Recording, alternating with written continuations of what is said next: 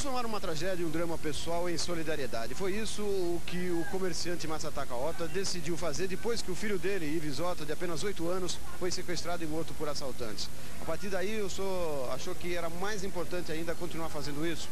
Hoje, por exemplo, o senhor está distribuindo ovos de Páscoa para crianças carentes aqui da região. Em 97, antes de acontecer o trajeto do meu filho, ele já me ensinou a distribuir ovo de Páscoa. Então é o terceiro ano que a gente está distribuindo. O ano passado conseguimos distribuir 3 mil ovos de Páscoa. E esse ano já estamos distribuindo 5 mil ovos de Páscoa. Por quê?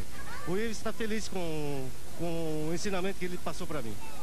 Muito obrigado, senhor Otto. José Donizete para o Record Informa.